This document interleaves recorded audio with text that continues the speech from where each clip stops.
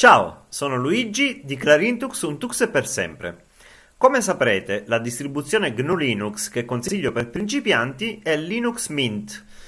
Se invece non siete principianti, ma vi state guardando attorno per trovare una nuova distribuzione Linux, vi consiglio il mio video Le mie soluzioni per chi soffre di distro hopping.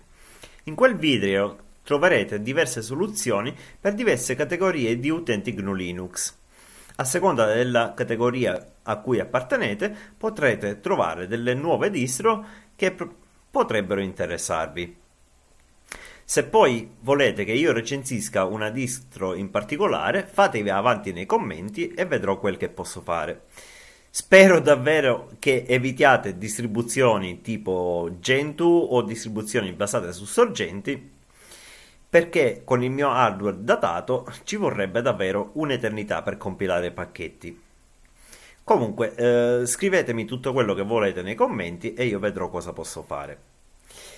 Le distribuzioni GNU Linux a cui però tengo particolarmente sono le distribuzioni 100% libere consigliate, supportate dalla Free Software Foundation. Diciamo che trovo che sia un peccato che se ne parli così poco, eh, sicuramente non sono distro adatte a tutti, non perché siano di- tutte difficili da utilizzare, ci sono delle distro anche facili da utilizzare, ma il problema è che eh, per utilizzarle deve avere un hardware che le supporta e devi essere un utente che non utilizza completamente software proprietario. Stiamo parlando di distribuzioni con un kernel Linux liberato, con un kernel Linux esente da blob binari, ossia senza moduli kernel non liberi. Sì, perché il kernel Linux utilizzato dalla, da quasi tutte le distribuzioni GNU Linux contiene al suo interno dei blob closed source che ovviamente ti permettono di fare girare eh, il sistema operativo GNU Linux sul tuo computer se hai hardware che mh, mm, necessita di moduli eh, closed source. Quindi eh, sicuramente queste distribuzioni escludono un'utenza che ha uh, del, dell'hardware uh, non compatibile. Escludono, come detto, anche un'utenza che utilizza abitualmente software uh, proprietario.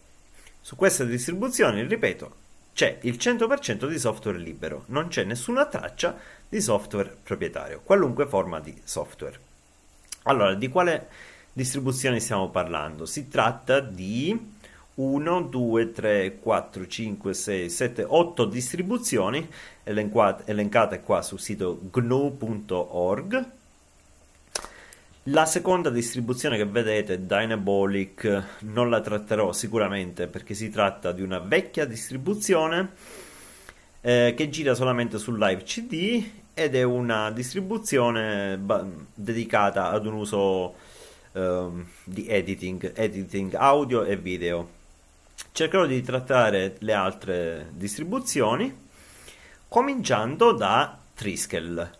Triskel GNU Linux è una distribuzione mh, adatta anche a principianti volendo eh, per un uso generico è basata su Ubuntu su Ubuntu LTS quindi anche questa è una distribuzione a lungo termine di supporto con desktop eh, Mate oppure LXDE oppure c'è anche la versione con KDE Plasma Comunque noi andiamo sul sito di Triskel, triskel.info, clicchiamo su download e vediamo infatti che abbiamo la versione con Mate, la versione con LXDE, la versione con KDE, poi una versione didattica per, uh, per i bambini. Scarichiamo la versione ammiraglia Triskel con Mate Desktop, io già l'ho scaricata, quindi andiamo ad effettuare il boot. Ecco qua, prova Triskel senza installarlo, noi lo installeremo. Vi guiderò nel processo di installazione che sicuramente non sarà difficile, ripeto, è basata su Ubuntu. Adesso metto il video in pausa e ci rivedremo quanto Triskel ha finito di caricarsi.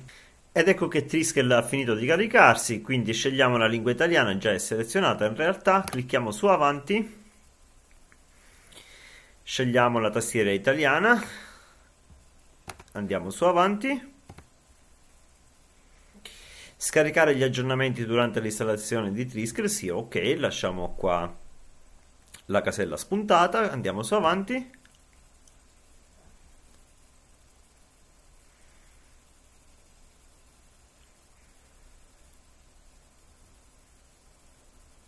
Sono su una macchina virtuale, quindi scusate un po' la lentezza e ripeto che il mio hardware è anche datato. Ok, cancella il disco e installa Triskel, questa è l'opzione che sceglierò, tanto per brevità. Poi se, se volete fare altro, fa, fate altro. Comunque sul video sul, sull'installazione di Linux Mint trovate tutte le informazioni. Ho anche un video con installazione con partizionamento manuale quindi nel caso siate interessati al partizionamento manuale andate a guardarlo, non perdetevelo. Comunque io cancello il disco e installo Triskel come unico sistema operativo. Vado su installa, confermo, avanti, scegliamo il fuso orario, avanti, nome, ok, password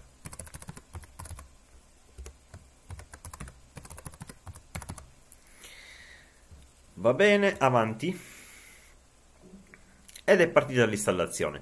Metto il video in pausa e ci rivedremo quando uh, Triskel avrà finito di installarsi. Ed ecco che Triskel ha finito di caricarsi. Questa è Triskel 10.0.1 Nadia, una versione LTS a lungo termine di supporto basata su Ubuntu, su Ubuntu 20.04. Purtroppo sì, basata su una vecchia eh, versione di Ubuntu.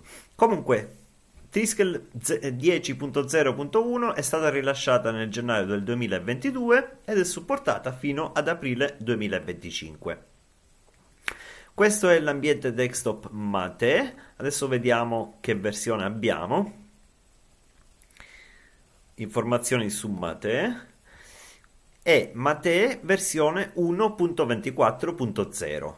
Vediamo su che kernel siamo. Apro un terminale scrivo uname-r quindi questo è come vi dicevo il kernel Linux libero nella versione 5.4.0 tutto sommato non è una versione così vecchia. Mi aspettavo di trovare una versione vecchia essendo Triskel basata su Ubuntu 20.04 credo che attualmente su Linux Mint siamo sul kernel 5.15 è chiaro che su Arch Linux essendo Arch Linux una rolling release, eh, là siamo ben più in avanti, siamo sul kernel 6.1.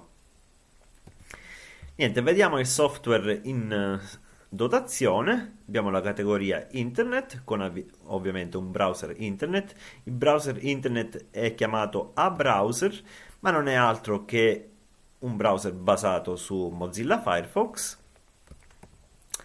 Vediamo su quale versione siamo.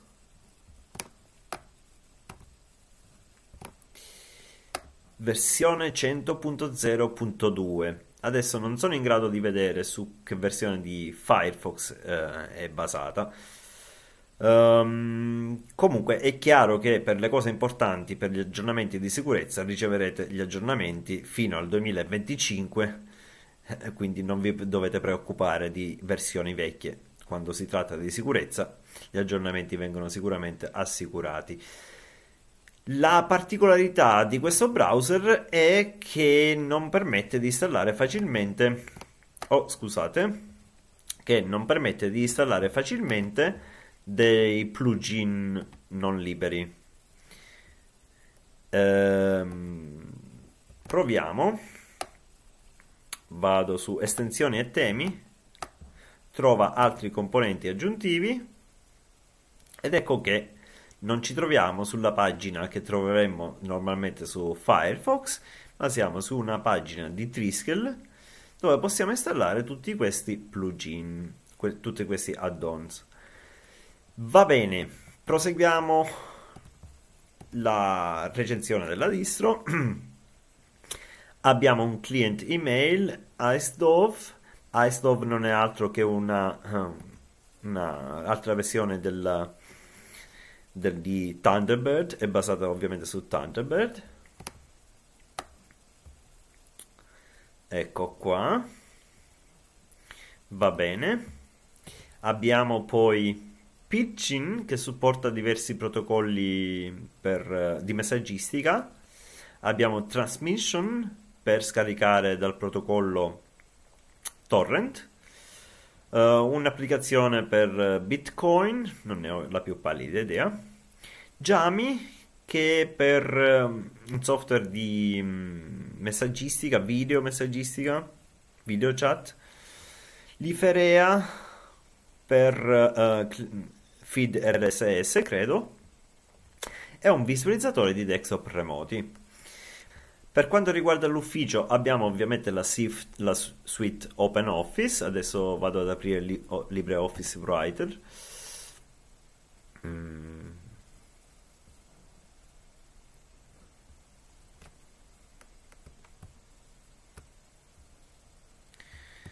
Ok, e qua siamo su sulla versione 7.2.7.2. Andiamo avanti. Audio, video, abbiamo CIS per la camera, per la, per la webcam, VLC, Brasero per chi ancora masterizza CD e Rhythmbox per uh, la tua collezione musicale. Abbiamo alcuni semplici giochi, credo che siano i giochi di Gnome, Gnome Mine, che è il campo minato, Gnome Mahjong, eh, il solitario Isle Riot e il Sudoku. Per quanto riguarda gli accessori, vediamo il file manager Kaha, perché siamo effettivamente sull'ambiente uh, desktop Mate, abbiamo la calcolatrice di Mate, eccetera. Per aggiungere nuove applicazioni andiamo semplicemente su aggiungi rimuove applicazioni.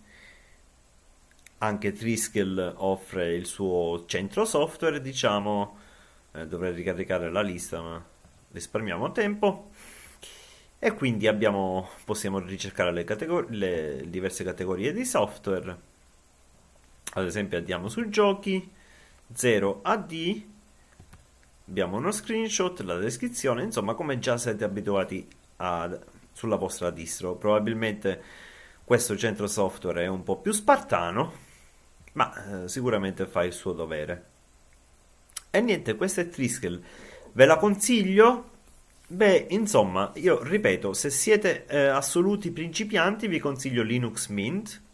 Se non siete assoluti principianti dovete vedere se il vostro hardware è compatibile con le distribuzioni consigliate dalla Free Software Foundation.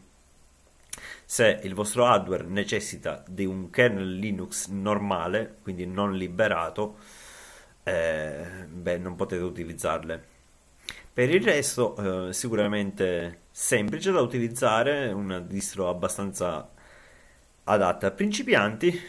Ehm, niente, vi dirò nel secondo video qual è la distro che io utilizzo attualmente, perché sì, utilizzo una distro di, di queste elencate dalla Free Software Foundation. E... e niente, non vi anticipo niente. Ci vediamo al prossimo video. Ciao da Clarintux.